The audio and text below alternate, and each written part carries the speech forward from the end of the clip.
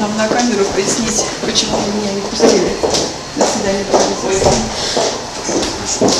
Нам сказали, согласно списку пускать, только согласно списку. А кто этот список предоставил? Управление информационной политики. Политики, да. Здравствуйте, главы. Хорошо.